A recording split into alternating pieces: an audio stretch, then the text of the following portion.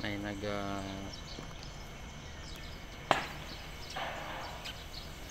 week boarding.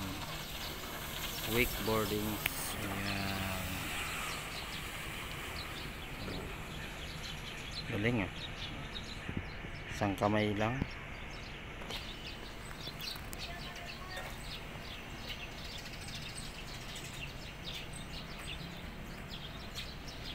Ang galing ah.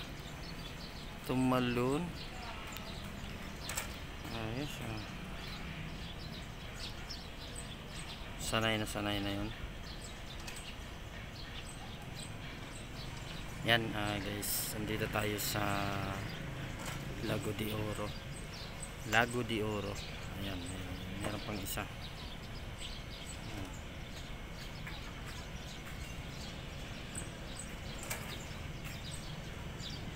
Gusto nyong mag-aral ng wakeboarding? Ay pumunta lang kayo dito sa Lago de Oro sa may ah, Talisay. Kalatat Kalatagan Batangas. Talisay Kalatagan Batangas. Ayan ang ganda. Kaya lang ano hindi ko na kita yung ano ayan. Tingnan natin. Ayun. Galing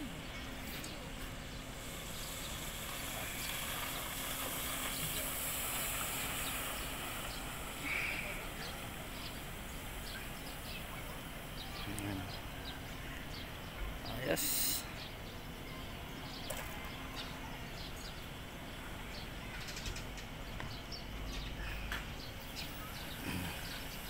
ito rin magaling din tong isa. Ah. mahirap yan. Yung wakeboarding na yan mahirap.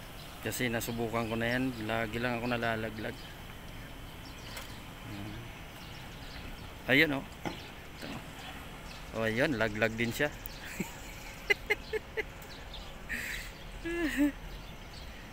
Pero yung isa guys, ano, ayan o, laglag siya eh. oh. Oh.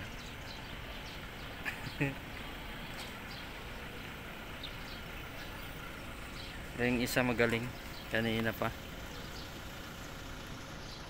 Ayan na, malapit na.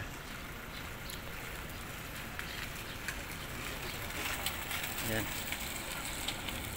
May dumaan na ano. Ayan isa.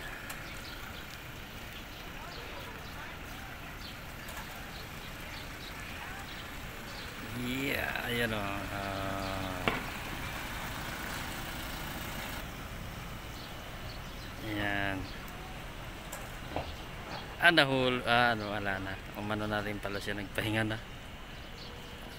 Okay, ah, dito na lang natatapos yung ating video. Maraming salamat sa inyong panonood dyan. Ayan. Nandito tayo sa Lago de Oro. Bagong ano nila yan. Ah, pwede kayong mag ano dyan, mag rent, ah, mag ano, mag stay kapag ah, pumunta kayo dito sa Lago de Oro. Maganda dito guys. Ayan, maraming maraming salamat sa inyong panonood. Okay, bye-bye.